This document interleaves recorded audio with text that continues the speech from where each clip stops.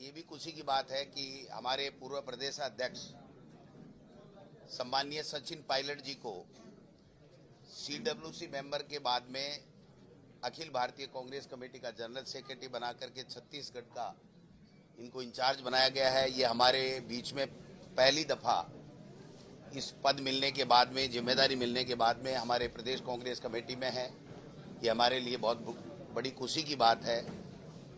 और तीसरी खुशी जो आपने देखा होगा कि भारतीय जनता पार्टी के अहंकार को चूर चूर करके हमारा एक नौजवान साथी भूपेंद्र कुन्नर जी जीत करके श्री करणपुर विधानसभा क्षेत्र से आए हैं। वो हमारे साथ में आज पहली बार शामिल हुए हैं।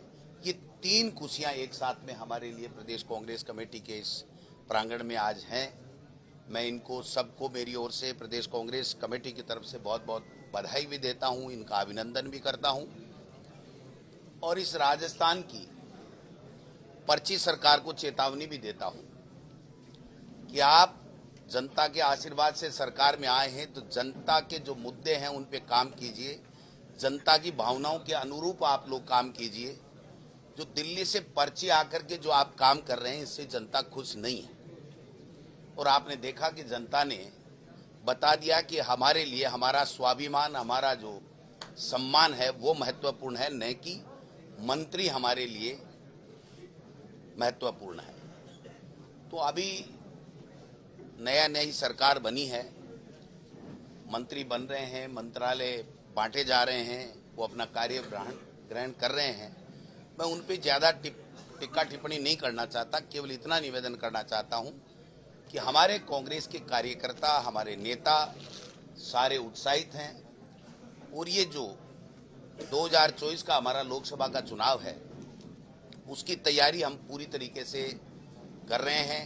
तैयारी के साथ में चुनाव लड़ेंगे, चुनाव जीतेंगे, एनडीए को सत्ता से हटाएँगे और इंडिया अलायंस केंद्र में सत्ता में आएगा, ये मैं निवेदन करना चाहता हूँ। तो आज चूँकि यूथ कांग्रेस की कार्यकारिणी की बैठक है और हमारे तीनों ही अध्यक्ष अभिमन्यु पूनिया जी, सतवीर जी और हमारे मुंड साहब, ये तीनों आए हैं और रूपेंद्र कुनर जी और सचिन पायलट जी हमारे बीच में हैं।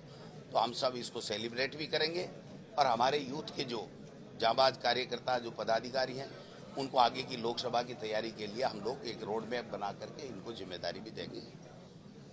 धन्यवाद।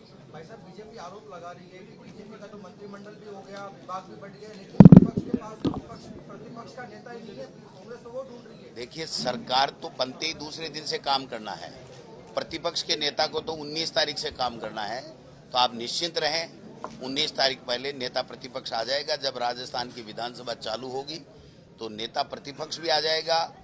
उनको हर मुद्दे के ऊपर, जनता के मुद्दों के ऊपर हम लोग उनको सबक भी सिखाएँगे, उनको गलत काम नहीं करने देंगे, हमारी योजनाएँ बंद नहीं करने देंगे जो जनहित की हैं। और हम अच्छे तरीके से जनता के मुद्दों को लेकर के और प्रतिपक्ष की अच्छी भूमिका निभाएँगे।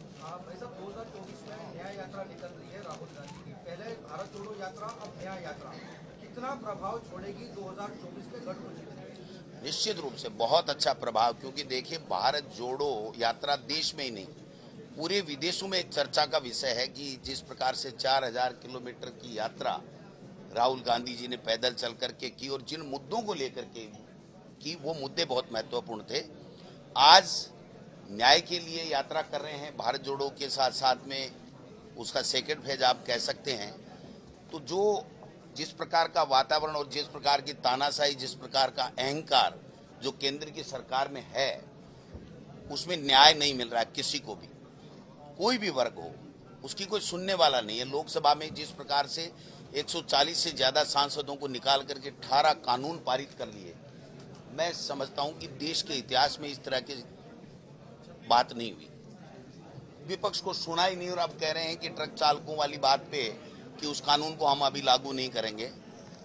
कृषि कानून भी ऐसे ही उन्होंने लागू किया था, दादागिरी से, तानाशाही से लागू किया था, जनता की नहीं सुनी थी, उनको वापिस लेना पड़ा, इसको भी वापिस लेना पड़ेगा। तो मैं समझता हूँ कि 2024 के लिए हम लोग तैयार हैं और न्याय यात्रा पूरे देश में एक और नया संदेश और ऊर्जा का संचार करेगी और लोगों को लगेगा कि कोई तो है जो हमारे को न्याय दिलाने के लिए इस अहंकारी सरकार से लोहा ले रहा है। डोटासरा जी क्या आपको ठीक लगता है न्यूली इलेक्टेड सरकार को पर्ची सरकार कहना? और बीजेपी कह रही है कि भूपिंदर जी के साथ सहानुभूति वोट गया है इस वजह से वो जीते। तो आपको लगता नहीं कांग्रेस कुछ ज़्यादा ही सेलिब्रेट कर रही है बाईपोल नहीं आप देखिए कि पर्ची से सरकार नहीं बनी क्या?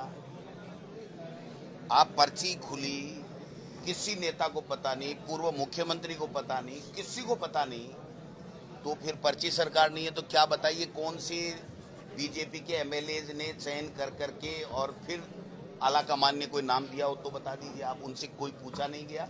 खाना खाई दीजिए, साइन कर दीजिए और पर्ची आएगी और वो बनेगा, इसलिए मैं पर्ची सरकार बोलता हूँ। जो आगे के काम चल रहे हैं, मंत्रियों के बंटवारे चल रहे हैं, जो मंत्री बनाए जा रहे हैं, वो भी बहुत ऊपर से पर्चियाँ आने के बाद में बन रहे हैं।